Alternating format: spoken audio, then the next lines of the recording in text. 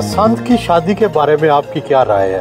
क्या शादी अरेंज होनी चाहिए या पसंद की? अब तो ज़्यादातर शादियाँ जो हैं वो पसंद की हो रही हैं।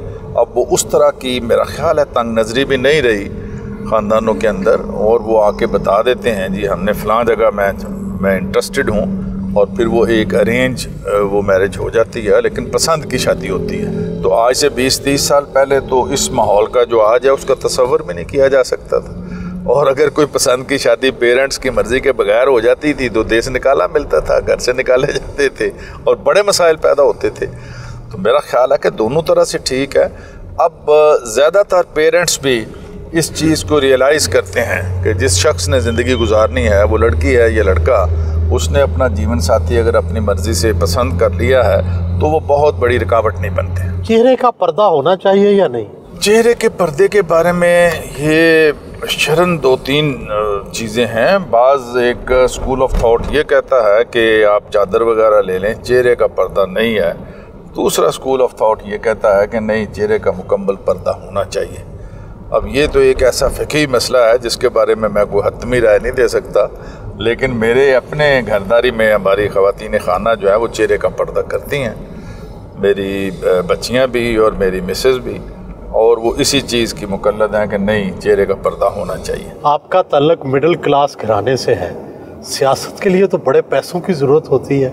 आपके ज़राए आमदन क्या है? मेरे ज़राए आमदन में जी मैं एज आ डेवलपर पिछले चालीस साल से काम कर रहा हूँ। कुछ हमारी आबाई ज़मीनें थी। लाहौर के सबर्ब्स के अंदर उनको डेवलप किया और एल से और बाकी अथॉरिटीज़ से पास करवा के मैंने बल्क में स्कीमें पास करवाई। जो आबाई ज़मीनों के ऊपर भी। उसके बाद पे पाँच छः प्लाजाज लाहौर में बनाए, एक हसन सेंटर के नाम से मेरा फ़िरोज़पुर रोड पे इस वक्त प्लाजा है।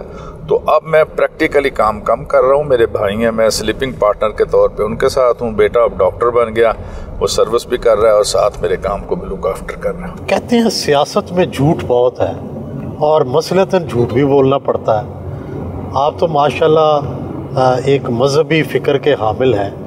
तो आप भी झूठ बोलते हैं सियासत में? बाज़ात नागजीर हो जाती हैं कुछ चीज़ें कि जिसके बगैर छुटकारा नहीं होता।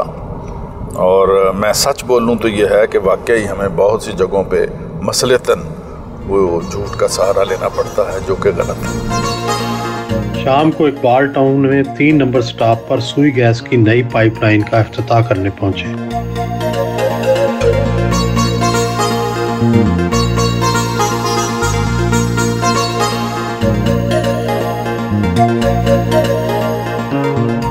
ट्रॉमा सेंटर का अफ्ताह किया।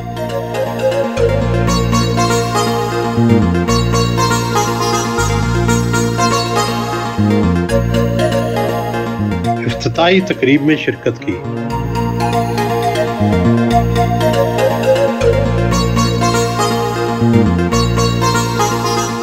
दस करोड़ रुपए की लागत से और अलहमद कॉलोनी और सामने सारा आपका ये जो ये गंजबख्श रोड है और उससे मुलिका जितनी भी आबादी हैं, उन सब के अंदर, अब पिछले जो है, एक साल से हम लगे हुए थे। ये सारा पाइप जो है, वो नए सिरे से रिप्लेस हो जाएगा, नया पाइप आ जाएगा और आपका ये मसला हमेशा हमेशा के लिए हल हो। जाएगा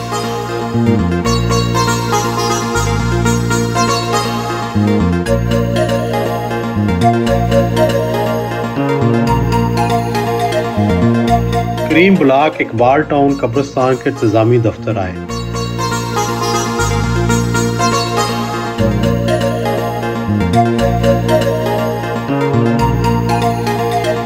कब्रस्तान कमेटी के मेम्बरान के साथ मीटिंग की और अकलीतों के मसाइल पर भी गुफ्तु हुई